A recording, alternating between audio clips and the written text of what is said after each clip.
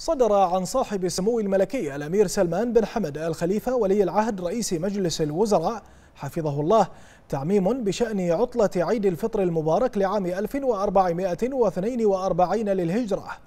وجاء في التعميم أنه بمناسبة عيد الفطر المبارك لعام 1442 للهجرة تعطل وزارات المملكة وهيئاتها ومؤسساتها العامة يوم العيد واليومين التاليين له.